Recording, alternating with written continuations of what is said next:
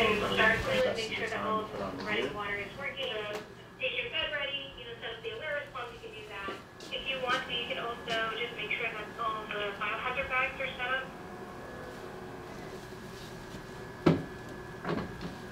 The biocontainment unit is a special unit that's been designed to take care of patients who might have high consequence pathogens.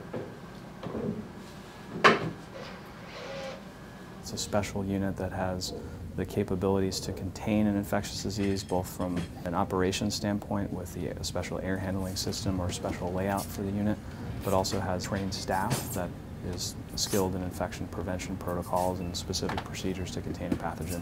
Pop the hand shoulder, sleeve all the way. Pop the hand shoulder, sleeve all the way up. You may regrip on the inside,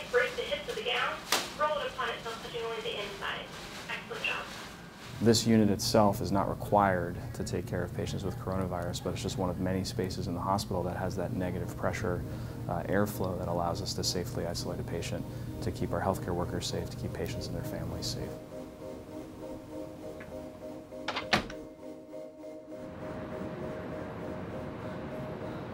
We're coming up with a plan here at Hopkins to be able to provide capacity to test for patients who present to our hospital, not just through the emergency department or who are already in the health system, but potentially uh, through outpatient testing sites, likely PCR-based tests, um, which you know, allows you to get an answer as to whether or not you're, you're finding evidence of the virus in someone's respiratory secretions within a few hours.